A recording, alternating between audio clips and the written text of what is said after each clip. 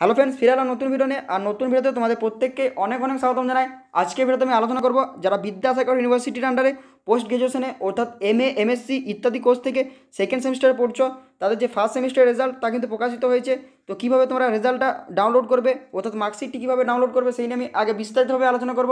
তাই অবশ্যই সম্পূর্ণ দেখতে থাকো। বলা বাহুল্য, এর আগেও কিন্তু ফার্স্ট সেমিস্টারের যে মার্কশিট তা কিন্তু আপলোড করেছিল ইউনিভার্সিটি কর্তৃপক্ষ, কিন্তু দুর্ভাগ্যের বিষয়, সে সময় মাত্র কিছুক্ষণের জন্য মার্কশিটটি কিন্তু আমরা ডাউনলোড করতে পারছিলাম, তারপর কিন্তু ওয়েবসাইট থেকে তুলে নেয়। তো যাই হোক, আবারও কিন্তু মার্কশিটটি দিয়েছে। তো কীভাবে তোমরা ফার্স্ট সেমিস্টারের যে মার্কশিট সেটা ডাউনলোড করবে, আমি সেই নিয়ে আগে বিস্তারিতভাবে আলোচনা করব। অবশ্যই সম্পূর্ণ দেখতে থাকো, আর চ্যানেলে নতুন থাকলে অবশ্যই চ্যানেলটাকে সাবস্ক্রাইব করে রাখবে এবং একই সঙ্গে যে বেল আইকন আসবে সেখানেও ক্লিক করে রাখবে। ও নোটিফিকেশান অল করে দেবে, তাহলে আমার পরবর্তী এরকমই আপডেট সবার আগে পেয়ে যাবে। তো চলো শুরু করছি আজকের মূল ভিডিও তো আমাদেরকে মার্কশিটটি ডাউনলোড করার জন্য প্রথমে এই ওয়েবসাইটে চলে আসতে হবে। অর্থাৎ আমাদের যে ইউনিট ট্র্যাক পোর্টাল রয়েছে, সেই ইউনিট ট্র্যাক পোর্টালে চলে আসতে হবে। আমি ডেসক্রিপশন বক্সে লিঙ্ক দিয়ে রেখেছি। ভিডিওটি দেখা শেষ হয়ে গেলে সেই লিঙ্কে ক্লিক করে, অর্থাৎ তোমরা ভিডিও টাইটেলে ক্লিক করলে কিন্তু ডেসক্রিপশন বক্সটা পেয়ে যাবে এবং সেখান থেকে কিন্তু সরাসরি এই পেজে আসতে পারবে। তো এখানে আসার পর যেটা আমাদেরকে করতে হবে, এখানে আমাদের ইউজার নেম অর্থাৎ আমাদের যে ইউএসআইএন নাম্বার সেটা কিন্তু এখানে আমাদের টাইপ করে দিতে হবে। একই সঙ্গে এখানে যে পাসওয়ার্ড দিয়ে আছে, অর্থাৎ আমাদের যে রেজিস্ট্রেশন নাম্বার সেই রেজিস্ট্রেশন নাম্বারটাই আমাদের পাসওয়ার্ড যদি চেঞ্জ না করে থাকো, অর্থাৎ এখানে ইউজার নেম অর্থাৎ ইউএসআইএন নাম্বার এবং পাসওয়ার্ড দিয়ে দেবে। তারপর এখানে লগ ইন বলে যে অপশন রয়েছে, এই লগ ইন অপশানে আমাদের ক্লিক করতে হবে। তো লগ ইন অপশানে ক্লিক করার পর আমাদের যে আইডি কিন্তু সেটা লগ ইন হয়ে যাবে ইউএস ইউএসআইএন নাম্বার এবং পাসওয়ার্ড দেওয়ার পর।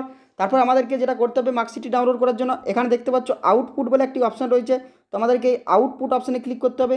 তো আউটপুট অপশানে ক্লিক করার পর দেখবে এখানে কিন্তু আমাদের সমস্ত তথ্য আমরা দেখতে পাবো।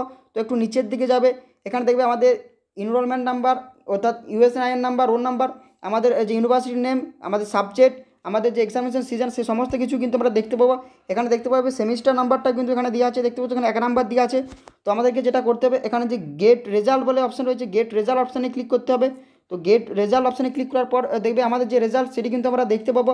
তো এখানে দেখবে আমাদের কিন্তু সমস্ত তথ্যগুলো দেখা যাবে। অর্থাৎ আমরা কিসে কত নাম্বার পেয়েছি?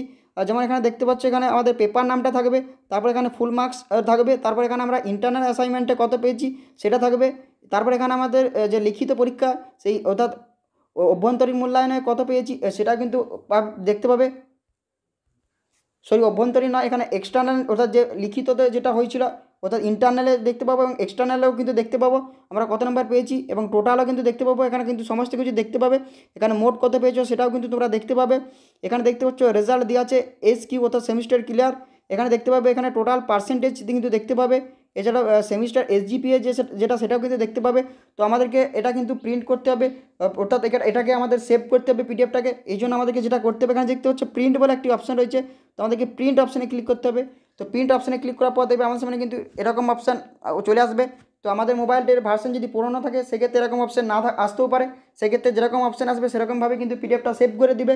তো এটা, এরপর আমাদেরকে যেটা করতে হবে, এখানে দেখতে পাচ্ছ পেপার সাইজ বলে যে অপশান রয়েছে লেটার আমাদেরকে এই পেপার সাইজ লেটার অপশানে ক্লিক করতে হবে। তারপর এখানে দেখতে পাচ্ছ আবারও পেপার সাইজ লেটার বলে যে অপশান রয়েছে, এখানে যে অ্যারো চিহ্ন রয়েছে, আমরা এই অ্যারো চিহ্নতে ক্লিক করব।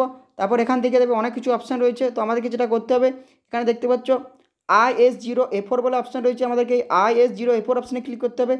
তাহলে কী হবে না? পুরো পেজটা কিন্তু এ ফোর সাইজে হয়ে যাবে। তাহলে আমরা যখন এর প্রিন্ট বের করব, তখন কিন্তু খুবই সুবিধা হবে। তারপর আমাদেরকে এই যে পিডিএফ বলে অপশান রয়েছে পিডিএফ অপশানে ক্লিক করতে হবে। পিডিএফ অপশানে ক্লিক করার পর এটি কিন্তু আমাদের ফাইলে কিন্তু ভালোভাবে, সুরক্ষিতভাবে সেভ করে রেখে দিতে হবে। তো এটাকে আমি আমার সেভ করে রেখে দিচ্ছি। তো দেখতে পাচ্ছ এটা কিন্তু সেভ হয়ে গেছে। তো তোমরা চাইলে কিন্তু এর একটা প্রিন্ট বের করে নিতে পারো, অথবা ভালোভাবে মোবাইলে সুরক্ষিতভাবে ফাইলটা কিন্তু রেখে দিতে পারো, যাতে করে পরবর্তীকালে যখন প্রয়োজন হবে এর কিন্তু প্রিন্ট বের করতে পারো। অর্থাৎ এইভাবে কিন্তু তোমরা খুব সহজেই তোমার যে মার্কশিট সেই মার্কশিটটি ডাউনলোড করতে পারবে ফার্স্ট সেমিস্টারে আশা করছি ভিডিওতে কিছুটা হলেও সাহায্য করতে পেরেছি। অবশ্যই ভিডিওটা বন্ধুদের মধ্যে শেয়ার করে দাও, যাতে প্রত্যেকে জানতে পারে এবং তারাও কিন্তু খুব সহজেই মোবাইলে তাদের যে মার্কশিট সেটা কিন্তু ডাউনলোড করতে পারে। আজকে ভিডিওতে এইটুকুই বলার ছিল। দেখা হচ্ছে পরের ভিডিওতে। Thanks for watching this video